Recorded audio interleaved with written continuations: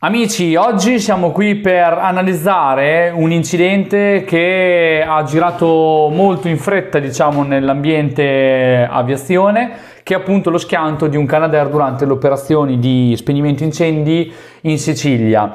Eh, l'incidente è avvenuto ieri, il 27 ottobre, eh, ho guardato che non mi ricordavo che giorno è oggi, e questo video lo faccio un po' in fretta effettivamente e probabilmente eh, ci sarebbe magari di più da analizzare, da guardare, però eh, il tempo è quello che è e, mm, e niente. E volevo mm, dirvi un po' quello che secondo me è il mio punto di vista, quello che secondo me potrebbe essere mm, verosimile mh, sulle cause di questo, di questo incidente e anche un piccolo pensiero che diciamo su, su, su, sull'accaduto. Allora, partiamo dal fatto. Allora, ieri appunto, il 27 ottobre, durante le operazioni di spegnimento di un incendio eh, nei pressi dell'Etna, in Sicilia, un uh, Canadair è um, precipitato. Non so se lo sapete, i Canadair, gli aeroplani, sono di proprietà dello Stato italiano, ma la, la, l'utilizzo del Canadair non è dato a un ente pubblico come può essere per esempio eh, i vigili del fuoco, ma i Canadair eh, sono utilizzati da una società privata che è Babcock, Bab, eh, Bab, Babcock e che tra le altre cose questa è, una, mm, è, un ente privato che si occupa anche per esempio degli elisoccorsi, di alcuni elisoccorsi. E, mm, bene, eh, che cosa succede? Succede che c'è questo incidente, in poche parole, e questa volta l'incidente è stato ripreso da più inquadrature, almeno due, quelle che io ho trovato in rete fino ad oggi, e che vi faccio vedere. Partiamo subito dal primo video che ho trovato in rete. Qui abbiamo anche eh, un po' di audio. Viene girato da la forestale, come vedete, c'è la, la pattuglia sotto, la pattuglia del furgone. Ecco il Canadair in avvicinamento.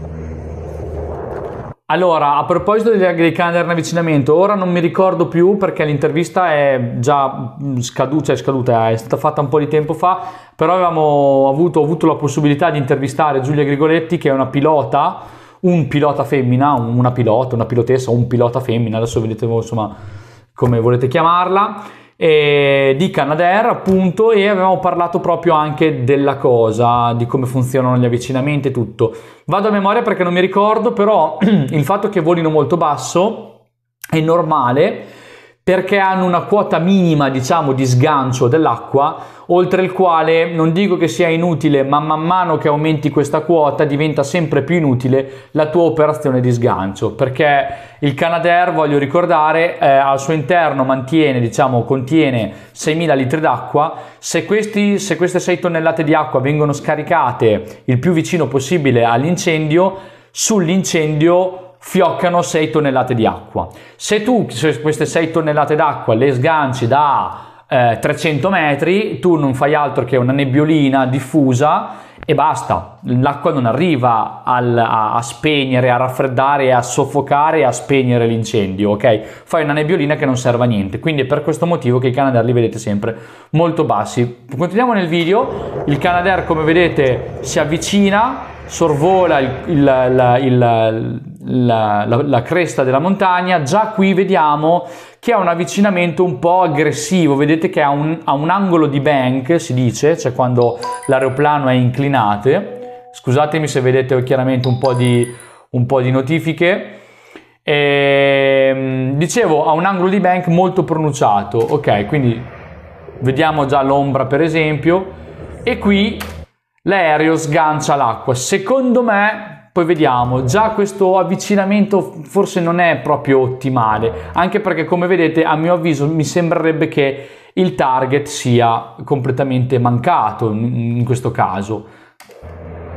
Una volta sganciata l'acqua, vediamo che l'aeroplano inizia a rollare per raddrizzarsi, vedete? Qui sta raddrizzando, guardate bene, qui sta iniziando a raddrizzare, poi improvvisamente l'aeroplano vira verso destra e precipita. Qualcuno questa virata l'ha intesa come una eh, uno stallo, invece l'aeroplano non ha assolutamente stallato. Intanto perché se non ha stallato qui, ok?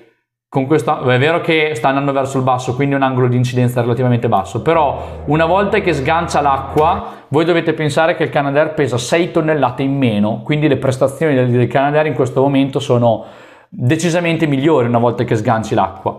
Eh, se ne parlava proprio nell'intervista, cioè come sganci l'acqua devi essere pronto a contrastarlo perché lui cabrerebbe come un pazzo.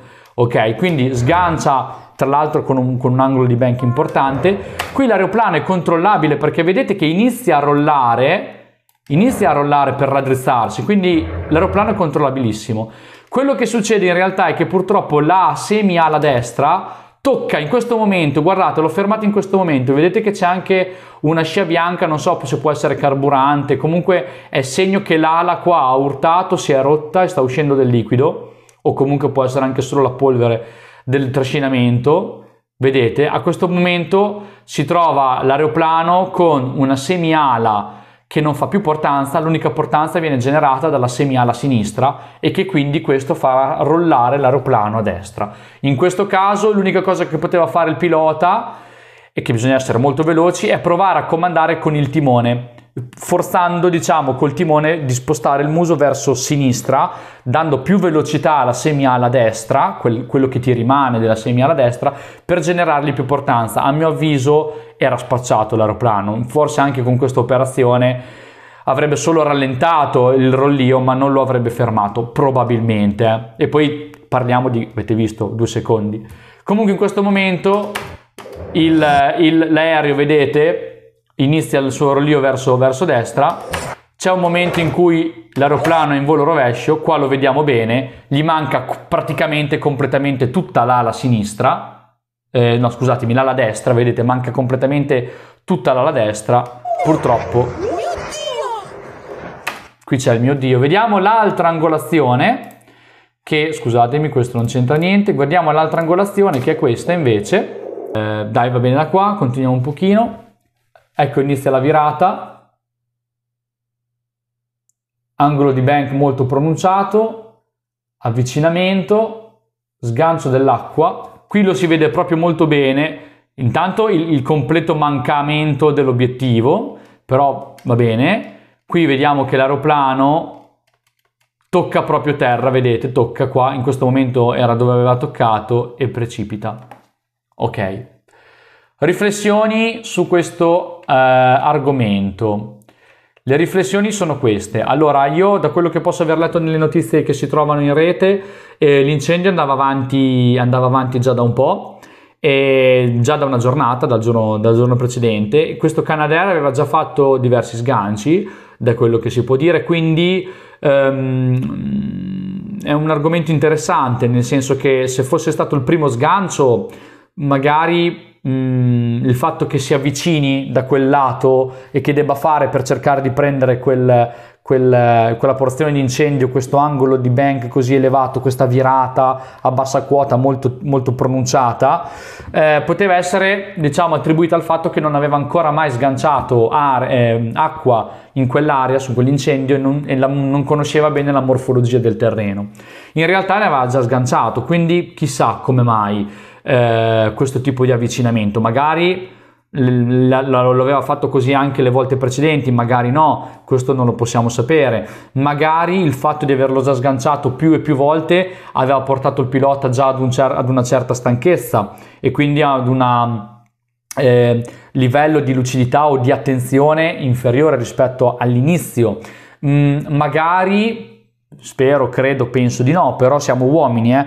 Magari il fatto che sia diventata una routine, quell'incendio, quella missione, potrebbe aver indotto il pilota ad un um, approccio un pochino più superficiale, perché l'ho già fatto una volta, l'ho già fatto due volte, l'ho già fatto tre volte, ma sì, dai, via, è una cavolata, ok? E um, non lo sappiamo questo, quei motivi di, de, de, dell'incidente.